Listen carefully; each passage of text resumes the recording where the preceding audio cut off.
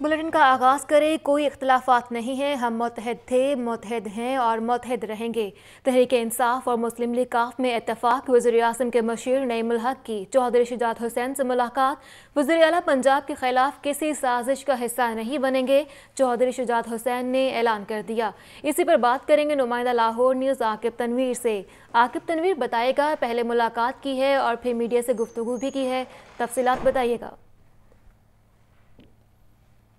جی بالکل، مشیر وزیراعظم پاکستان نعیم الحق کی جانب سے وزیراعظم عمران خان کی ہدایت کے اوپر خاص طور پہ یہ ملاقات شیڈول تھی اور اس سے جو ملاقات ہے وہ چودھری برادران کی رہائش گاہ پر ہوئی ہے، جس میں نعیم الحق کے ہمراہ اعجاز چودھری جو کہ additional secretary general Pakistan Peoples Party ہیں، ان کے علاوہ ترجمان وزیر اعلیٰ پنجاب ڈاکٹر شہباز گل بھی اس ملاقات میں موجود تھے اور مسلم لیگ کاف کی جانب سے چودھری شجاعت حسین، چودھری محنت صلاحی اور ان کے علاوہ چودھری سالک حسین اور بہو رضوان جن کو گزشتہ روز منسٹری ملی ہے، وہ بھی اس ملاقات میں موجود تھے۔ ایک تو جو اتحادی جماعت ہے مسلم لیگ کاف، ان کی جانب سے پاکستان تحریک انصاف کو مکمل اعتماد اور یقین دہانی کروائی گئی ہے کہ وہ ان کے ساتھ کھڑے ہیں اور کسی بھی مسئلے کے اوپر خاص طور پہ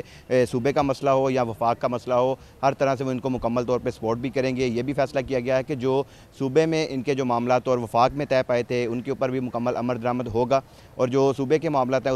اس کو اس کو مد نظر رکھتے ہوئے بہو رضوان کو وزارت بھی دے دی گئی اور وفاق میں بھی چودھری مولانا صلاحی کی جو وزارت ہے، وہ بھی طے شدہ فارمولے کے تحت ان کو دی جائے گی۔ جس کے بعد میڈیا سے گفتگو بھی کی گئی نعیم الحق کی جانب سے بڑا واضح اور کلیئر بتایا گیا کہ کچھ جو خبریں آ رہی ہیں اور کچھ عناصر اس طرح کی خبریں پھیلا رہے ہیں کہ ہمارے درمیان اختلافات ہیں۔ حالانکہ ہمارے درمیان کسی قسم کا کوئی اختلاف بھی نہیں ہے اور ہم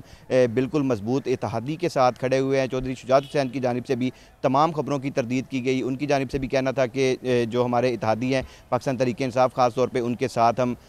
ڈٹ کر کھڑے ہوئے اور وزیر اعلیٰ کے خلاف اگر کسی قسم کی کوئی سازش ہوئی تو اس میں مکمل اس کا بھرپور جواب دیا جائے گا اور پاکستان مسلم لیگ کاف اس کا حصہ بھی نہیں بنے گی بلکہ اس کا ڈٹ کر مقابلہ بھی کرے گی۔ تو نعیم الحق کی جانب سے یہ کہا گیا کہ جو پاکستان مسلم لیگ کاف ہے اور چودھری شجاعت حسین ہے خاص طور پہ، وہ وزیر اعظم پاکستان بھی رہ چکے ہیں۔ ان کی جو تجربہ ہے، اس سے بھی ہم سیکھیں گے۔ چیئرمین پی ایس سی کے حوالے سے بھی بات ہوئی کہ شباز شریف کو جو چیئرمین پی ایس سی بنایا گیا ہے، اس کے خلاف جو تحریک لانے کے حوالے سے بات چیت چل رہی تھی کہ اس کے اوپر بھی حکومت ابھی مشاورت کر رہی ہے کہ طریقے عدم اعتماد لایا جائے یا نہ لایا جائے لیکن ایک چیز بڑی واضح کر دی ہے نعیم الحق کی جانب سے۔ ان کا کہنا تھا کہ جو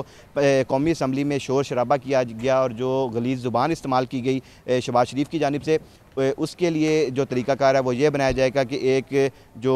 ان کے اوپر ان سے سائن کروایا جائے گا ایک مسودہ تیار کروایا جائے گا جس کے اوپر یہ باقاعدہ طور پہ شباز شریف سائن کریں گے دستخط کریں گے کہ وہ کسی قسم کی جو شور شرابہ ہے وہ قومی اسمبلی میں نہیں کریں گے تب جا کے ان کے جو پروڈکشن آرڈر ہے بہت شکریہ آپ کا عاقب تنویر